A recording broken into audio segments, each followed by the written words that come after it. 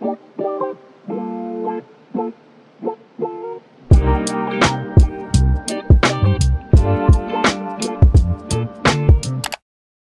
Ich habe Kaffee, ich kann ein Video filmen. I'm thriving over here. Hallo Jungs, Mädels, alles dazwischen und diverses und willkommen zurück zu einem neuen Video auf meinem Kanal. Mein Name ist Emilia und bei mir geht es um Leben und Bücher. Ich habe die Kamera heute für den Platz hier mal ein bisschen höher platziert. Schreibt mir gerne mal, wie ihr das findet. Ich finde es ganz schön, dass man jetzt irgendwie mal mehr vom Bücherregal sieht. Ich weiß gar nicht, das hat man sonst immer gar nicht so gesehen. Aber never mind. Ihr bekommt heute zwei Videos in einem. Ich werde euch heute nämlich einmal die Bücher zeigen, die ich im September gelesen habe und und dann werde ich auch noch meinen TBR für den Oktober aus meinem TBR-Jar ziehen. Der Oktober hat zwar schon angefangen. Heute, wenn ich das filme, ist schon der 2. Oktober. Aber ich hatte noch ein Buch Ende September angefangen von meiner Leseliste für den Monat. Und das habe ich jetzt einfach noch mitgenommen in den Oktober. Aber jetzt reden wir erstmal über die Bücher, die ich im September beendet habe. Ich habe im September insgesamt sieben Bücher beendet. Zwei davon habe ich als E-Books gelesen, eins war ein Hörbuch und vier waren physische Bücher. Und das erste, was ich beendet habe, war Hallo du Schöne von Anne Napolitano, was von Werner Löcher Lawrence ins Deutsche übersetzt wurde. In diesem Buch geht es um vier Schwestern. Das ist sowas wie ein loses Retelling von Little Women. Auch wenn, glaube ich, da außer der vier Schwestern-Thematik nicht so viel übernommen wird. Die vier Schwestern wachsen in Chicago in den 60er, 70er Jahren auf. Und das Buch beginnt allerdings nicht mit ihrer Kindheit, sondern damit, dass die älteste der vier Schwestern, Julia, am College einen Mann kennenlernt und sich in ihn verliebt und wie alles, was sich daraus dann erspinnt, die komplette Beziehung der Schwestern verändert. Ähm, ich fand die Darstellung der 70er, 80er Jahre in Chicago sehr schön. Ähm, ich hatte das Gefühl, dass Napolitano da wirklich viel recherchiert hat und man deswegen richtig in dieses Leben, besonders eben in dieser Italien italo-amerikanischen Gegend da ähm, reinblicken konnte. Tatsächlich konnte ich oft in dem Buch nicht sagen, was als nächstes passieren wird. Muss allerdings sagen, die Charaktere haben sich teilweise auch ein bisschen künstlich angefühlt. Also manche Entscheidungen, die hier im Buch getroffen wurden. Ich weiß nicht, ob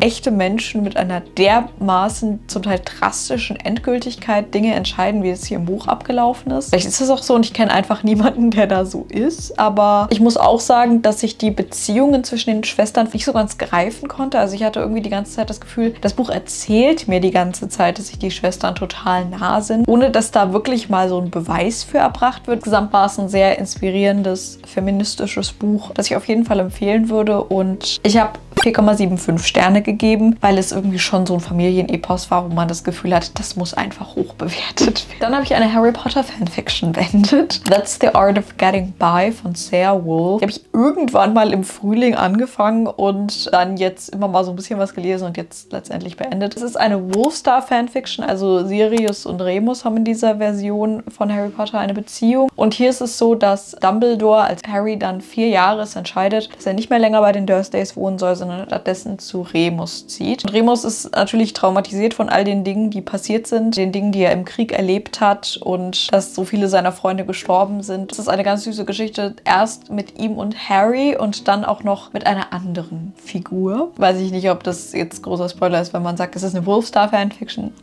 Ich mochte das Buch. Ich fand, dass die Autorin krass gut mit der PTBS-Situation umgegangen ist und ich glaube, sie hat auch die Charaktere Remus und Sirius sehr gut verstanden und konnte diese ganzen Emotionen gut porträtieren. Das Buch hat sich so ein bisschen overwritten angefühlt. Also zum Teil waren da so viele Gefühls- und Metaphoriksbeschreibungen, wo ich mir wirklich gedacht habe, ja, wir haben verstanden, wie die beiden sich fühlen. Wir haben verstanden, dass es nicht einfach für sie ist. Ich muss es jetzt nicht nochmal im innerhalb von drei Seiten zum fünften Mal erwähnen, aber ich mochte es wirklich gerne. Es war sehr herzerwärmend und habe dann 4,25 Sterne gegeben. Äh, dann habe ich Radikale Zärtlichkeit von Shada Kurt als Hörbuch gehört, was auch von der Autorin selber gelesen wird. Ich habe dem Buch nur zwei Sterne gegeben, nicht weil ich es schlecht gefunden hätte oder weil ich überhaupt nicht mit der Meinung von der Autorin übereinstimmen würde, sondern weil ich das Gefühl hatte, dass mir das Buch nichts Neues gegeben hat. Worum geht es denn überhaupt? Die Autorin argumentiert hier in verschiedenen Kapiteln, wieso Liebe politisch ist. Also sie führt Beispiele aus den Medien, aus ihrem eigenen Leben und aus Statistiken an, die eben gewisse Schlüsse daraus ziehen lassen, wie Liebe und Beziehungen von Politik und Gesellschaft beeinflusst werden. Das Einzige, was ich neu und interessant fand, war, sie lebt mit ihrem ihrem Freund in einer polygamen Beziehung. Sie redet schon direkt relativ am Anfang des Buches darüber, dass es für sie und ihren Partner damals eine gute Entscheidung war und ihre Beziehung vorangebracht hat, dass in der Gesellschaft aber eben stark kritisiert wird und dass wir eben noch sehr in diesem monogamen Gesellschaftsbild drin sind. Was ich interessant fand, jetzt mal abgesehen davon, ob ich in einer polygamen Beziehung leben möchte oder nicht. Aber ja, es, es ist nun mal das, was in unserer Gesellschaft so als die Norm angesehen wird. Ansonsten hat mir das Buch einfach nicht wirklich was Neues gegeben, deswegen nur zwei Sterne. Aber an sich würde ich es empfehlen. Könnte mir auf jeden Fall vorstellen, das andere Buch von Shader Court Hass noch zu lesen. Dann habe ich gelesen dieses wunderschöne Buch hier, Alte Sorten von Ewald Ahrens. Hier geht es um zwei Frauenfiguren, Sally und Liz. Sally ist 17 und Liz ist, ich glaube, so in ihren 40er, 50ern. Auf jeden Fall, Sally flieht zu Beginn des Buches aus einer psychiatrischen Anstalt, flüchtet sich aufs Land und begegnet dort Liz. Liz ist dort die Besitzerin eines Hofes, den sie alleine bewirtschaftet. Und so in der spontanen Situation eigentlich beschließt sie, Sally bei sich aufzunehmen. Und über die nächsten Wochen arbeitet Sally dann zusammen mit Liz auf dem Hof. Und och, das ist so ein wunderschönes Buch. Ich habe ja schon der große Sommer von Ewald Ahrens gemocht. Das hier war doch nochmal was anderes irgendwie, auch vom Stil und von der Story her. Aber trotzdem war es so toll. Fühlt sich so richtig heilsam an, weil man eben diese ganzen Beschreibungen über Essen, über über Obstsorten, über Landwirtschaft, die Mentalität des Lebens auf dem Land liest und diese Ruhe, die Menschen aus der handwerklichen Arbeit und der Landwirtschaft ziehen, deswegen so richtig darin eintauchen kann. Die Naturbeschreibungen sind wunderschön. Es beginnt am 1. September und zieht sich dann so ein bisschen wie in den Oktober rein. Das heißt, es war auch wirklich das perfekte Buch für den September. Mir richtig viel Freude bereitet. Die beiden Figuren, Sally und Liz, sie hatten ihre Ecken und Kanten, aber sie sind im Prinzip gute Menschen und deswegen war es auch schön, schön über sie zu lesen. Ich fand es auch einfach cool, dass in dieser Dynamik ältere Person und jüngere Person helfen einander, heilen einander. Hier mal wirklich mit zwei Frauenfiguren dargestellt wurde, weil sonst kenne ich das dann so, dass zumindest eine der beiden Figuren männlich ist. Sehr berührend. An einer Stelle sind mir so ein bisschen die Tränen gekommen und ja, fünf Sterne. Jahreshighlight. Dann habe ich dieses Rezensionsexemplar hier gelesen. Handbuch für den vorsichtigen Reisenden durch das Ödland von Sarah Brooks, übersetzt von Claudia Feldmann. Das das ist ein historischer Fantasy-Roman, in dem zwischen Russland und China eine mystische Welt, ein mystisches Land namens das Ödland liegt. Ist ein bisschen schwierig zu beschreiben. Es ist quasi ein wild wachsendes, magisches Land voller Pflanzen, wilder Menschen und wilder Tiere und mit seiner Magie ist das Ödland in sich verbunden. Menschen können sich dem Ödland nicht nähern, weil sie dann dem Wahnsinn verfallen würden, sondern nur die transsibirische Eisenbahn fährt immer von Russland nach nach China und wieder zurück. Wir begleiten den Zug auf dieser Reise, nachdem er zehn Monate lang nicht gefahren ist, weil es einen Zwischenfall gab. Und wir gucken uns dabei drei verschiedene Perspektiven an. Ich finde es so schwierig, eine Bewertung zu diesem Buch abzugeben. Ehrlich, ich habe 3,5 Sterne gegeben. Also was mir schon mal nicht gefallen hat, war, dass das Ende meiner Meinung nach ein bisschen zu schnell abgehandelt war. Es ist ein besonderes Buch. Das Ödland als Konzept ist was, was ich noch nie gelesen habe, was mir sehr gut gefallen hat. Ich hatte aber irgendwie das Gefühl, dass ich mit einigen der Charaktere nicht so ganz warm geworden bin. Durch die Perspektivwechsel habe ich oft immer einen Moment gebraucht, um zu checken, wer jetzt eigentlich gerade wieder dran ist. Und das hat mich dann auch so ein bisschen aus dem Lesefluss rausgeholt. Ich habe auch so ein bisschen nicht ganz verstanden, was jetzt der Punkt der Geschichte sein soll. Also es ist, glaube ich, auch so ein bisschen eine Ode an Naturschutz und gegen Klimawandel und so weiter und so fort. Aber irgendwie gab es auch Punkte in dem Buch, die für mich nicht so richtig gepasst haben. Und ich weiß es nicht. Ich weiß es nicht. Es hat sich irgendwie einfach ein bisschen komisch angefühlt. Aber es hat mir auch gut gefallen gefallen und es ist auch wirklich ein gutes Buch für die Herbstzeit. Ich würde es empfehlen, guckt mal rein, ob es was für euch ist. Es ist auf jeden Fall mal was anderes. Dann habe ich ein weiteres Jahreshighlight gelesen und das war Emily Wilds Map of the Otherlands von Heather Fawcett. Das ist der zweite Band in der Emily Wild Reihe und ich habe schon den ersten Band geliebt. Der erste Band war schon eins meiner Lieblingsbücher letztes Jahr und ich muss sagen, mir hat der zweite Band jetzt noch mal besser gefallen. Emily Wild ist eine Feenforscherin, die äh, durch Europa reist und über Feen forscht. Sie ist Professorin in Cambridge. Im ersten Band reist sie in den Norden, um dort Feenvölker zu erforschen und hat einen Academic Rival namens Wendell Bumblebee und ich liebe die Dynamik zwischen denen. Und das Buch hier hat mir jetzt noch besser gefallen, weil es spielt erstens im Herbst, perfekt jetzt für die Jahreszeit. Dann spielt es in den, ich bin mir nicht ganz sicher, ob in den bayerischen oder österreichischen, aber auf jeden Fall in den Alpen. Es gibt noch einige andere Figuren, die in diesem Band hinzugekommen sind und irgendwie dem Ganzen nochmal eine interessantere Dynamik geben. Es gibt so viele Enthüllungen und Wendungen. Es ist auch immer so ein bisschen, als würde sie einen Kriminalfall lösen, halt nur mit Magie. Und wirklich, Heather Fawcett kann auch so coole Geschichten sich ausdenken und erspinnen. Alles greift so gut ineinander. Die Dialoge zwischen den Charakteren, es ist einfach so wholesome und so toll. Die Reihe hat mein ganzes Herz. Und die Cover sind ja auch mal sowas von schön. Und dann das letzte Buch, das ich im September gelesen habe, war Conversations on Love von Natasha Lunn. Ein Sachbuch, in dem äh, Natasha Lunn verschiedene britische und amerikanische Schriftsteller, Journalisten, Leute, die was mit Schreiben zu tun haben, zum Thema Liebe interviewt. Das Buch ist in drei Bereiche aufgeteilt, wie man Liebe findet, wie man Liebe behält und wie man mit der Trauer, wenn Liebende von einem gehen, zurechtkommt. Das Buch war auch wie alte Sorten ein total heil heilsames Buch. Also ich habe so viel markiert, weil da so tolle Zitate drin sind, ähm, aber auch wirklich einfach so tolle Erkenntnisse. Diese ganzen Gespräche, die sie mit den Menschen führt, aber auch das, was sie dann selber daraus schließt und wie sie es auf ihre eigene Lebensgeschichte anwendet. Das war alles so inspirierend und so heilsam. Ich habe die ganze Zeit das Gefühl gehabt, da sitzt jemand hinter mir, der mir gut zuredet und sagt, es ist okay, wie du liebst, es ist okay, wie Beziehungen laufen, es ist okay, wenn Beziehungen zerbrechen. Es hat einfach so gut getan und es war auch so schön, über die verschiedenen verschiedenen Leben der Menschen zu lesen, die sie interviewt. When someone dies, you are the same person you were five minutes ago, but suddenly you're a different person too, because your future self is no longer there. Loved it. 4,5 Sterne. Damit haben wir dann alle Bücher, die ich im September gelesen habe und ich würde sagen, dann gehen wir rüber in mein anderes Zimmer zu meinem TBR-Shelf und ziehen den TBR für Oktober. Okay, hier ist es jetzt um einiges dunkler drin. Ich hoffe, das ist nicht zu irritierend. Wie findet ihr das eigentlich, wenn ich jetzt so ein bisschen weiter weg von der Kamera sitze? Ich wollte ja eigentlich sowieso nochmal irgendwann so ein Objektiv zum Aufsitzen von meiner Kamera kriegen, dass ich dann nochmal so ein Wide Angle habe. Nevermind. TBR Dark. Ich muss mal gucken, wie viele ich ziehen werde. Ich habe ein paar Bücher hier stehen, die ich unbedingt im Oktober lesen werde. Jetzt egal, ob sie auf dem TBR landen oder nicht. Das heißt, wenn ich jetzt nur Zettel ziehe, mit denen ich es nicht schaffe, die auf meinen TBR zu packen, dann werde ich ein paar weniger Zettel ziehen und bei den anderen Büchern dann ich dann einfach noch sagen, sagen, ja, die werde ich auch im Oktober lesen. Wenn die Sterne für mich gut stehen, dann werde ich sechs Zettel ziehen, wenn ich Bücher hier drauf bekomme, die ich auch lesen möchte. First Prompt. Ich habe übrigens die von letztem Monat einfach wieder reingesteckt. Ich habe jetzt erst gesehen, dass manche Leute es so machen, dass die dann das Ding immer mehr ausleeren. Das wollte ich jetzt eigentlich nicht unbedingt machen. First Pick. Ein Buch mit über 400 Seiten. Actually, ich weiß schon ganz genau, was ich dafür nehmen werde.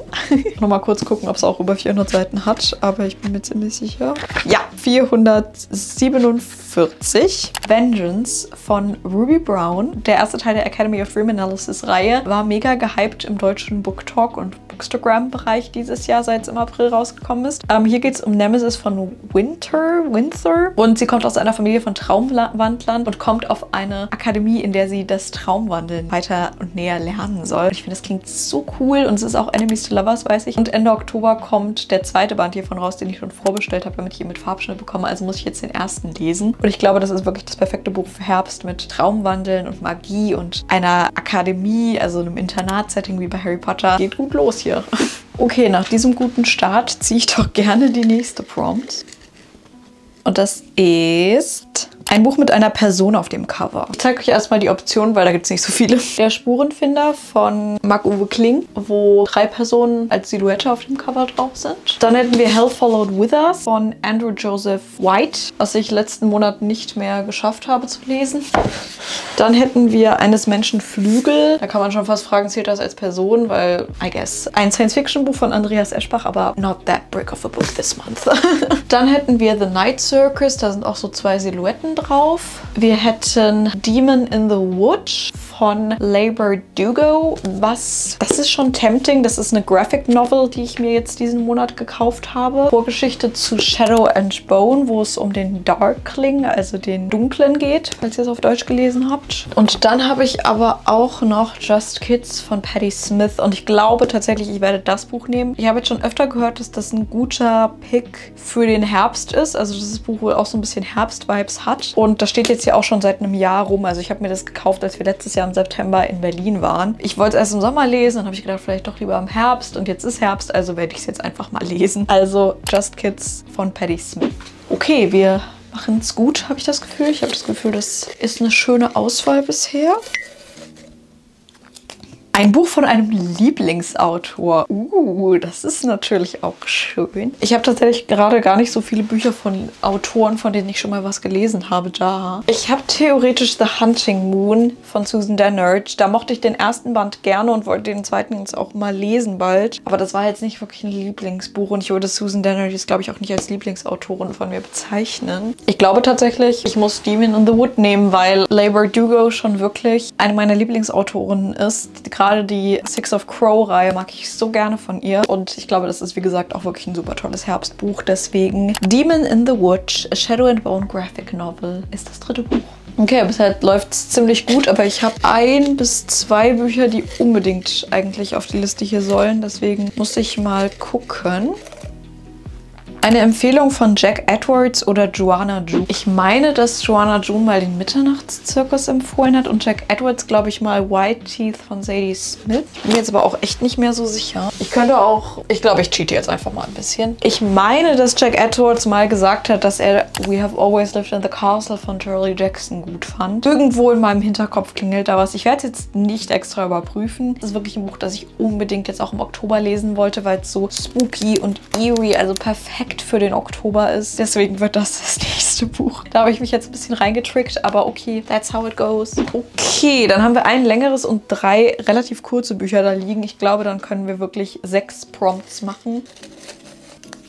Ein Buch eines Autors, also damit ist gemeint eine männliche Person.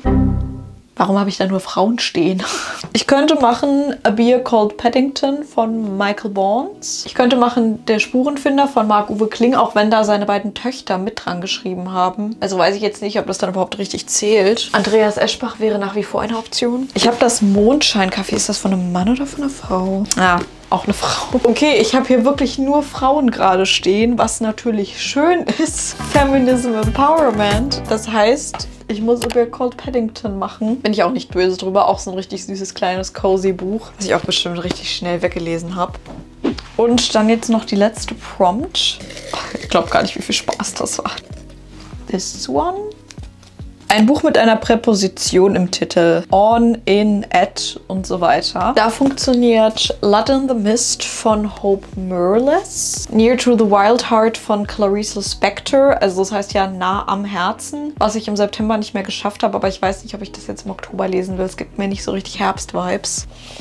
Und das war es schon. Das sind die einzigen Bücher, die ich mit Präposition im Titel auf meinem TBR habe. Das heißt, ich nehme Blood in the Mist von Hope Merlis, weil ich glaube, das ist auch ein gutes Herbstbuch. Und dann ist das meine Leseliste für Oktober. Vengeance von Ruby Braun, Just Kids von Patty Smith, Demon in the Wood von Leigh Dugo und Danny Pendergast, We Have Always Lived in the Castle von Shirley Jackson, A Beer Called Paddington von Michael Bond und Blood in the Mist von Hope Merlis. Ich habe das Gefühl, da erwartet mich auch ein richtig guter Lesemonat, auch mit Blick auf so Halloween und Uni-Start. Also Dark Academia ist ja auch ein bisschen drin. Und es ist auch eine gute Variation. Also ich habe keinen richtigen Roman, aber ich habe eine Biografie, Gothic Literature, Cozy Fantasy, Romantasy, eine Graphic Novel, was ich ja auch selten lese, und ein Cozy Kinderbuch von Paddington. Also wirklich alles total unterschiedliche Bücher. Dann hoffe ich, euch hat das Video gefallen und würde ansonsten nur noch sagen, folgt mir auf jeden Fall bei Instagram. Vergesst nicht zu liken, zu abonnieren, die Glocke zu aktivieren. Ich habe euch alle lieb.